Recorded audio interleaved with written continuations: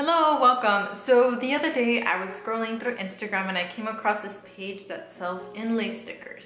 And when I clicked on this, these didn't look like real stickers. They looked like ukuleles had a design on them. So I got super excited because I know there are people who buy the Enya Nova ukulele or they have a more affordable model and they want to bedazzle it. And this looked like a legitimate option. So I have this little hummingbird one this looks like abalone to me. So I'm gonna put this one on this ukulele. I'm not sure exactly where. I'm gonna keep in mind where I strum so I don't scratch it off.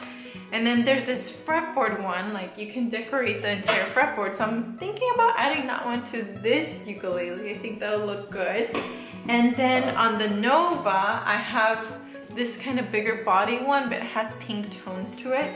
So yeah, I'm gonna do that on this video and then we'll see the end result. And I wanna hear from you if you like them, if you think they look cool. At the end of the video, we're going to vote on which one of the ukuleles looks best and which one of the stickers was your favorite. Also, let me know if you think I should have done another combination because I have a few extras. Speaking of extras, I'm going to send a few of these to my patrons as well because I have some to give away.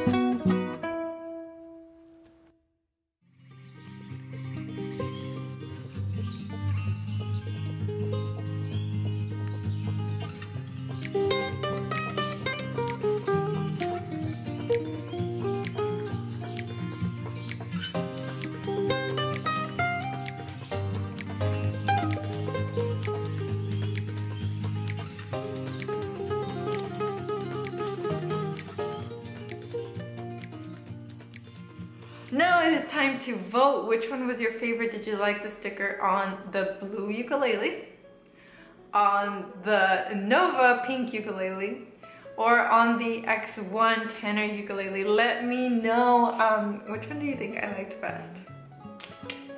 I hope that you enjoyed today's video. If you have ideas for fun videos like this that we can do, let me know because it's fun to do something different from tutorials and reviews. I love those, but I want to add more to the channel and more value to you as well. So let me know if there's anything else like this or creative that we can do and I will make it happen. Make sure to hit the like button on this video, subscribe to the channel, and I will see you in the next one. Sayonara!